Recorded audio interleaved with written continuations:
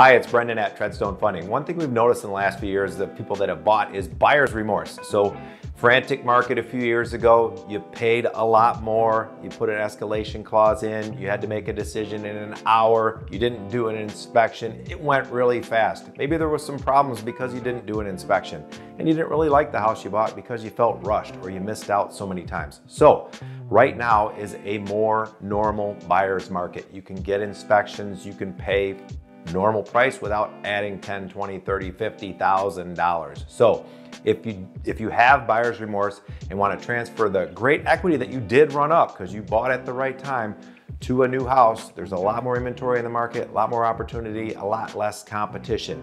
And the big elephant in the room is interest rates, but we expect them to go down in the next year or two. That's what the predictions are. So you refinance later because when they do go down, you pay more because it jacks those prices and competition back up. So if you have any questions about this and see if it's a good fit for you, give us a call. It's case by case, 616 228 6200. Love to discuss it with you.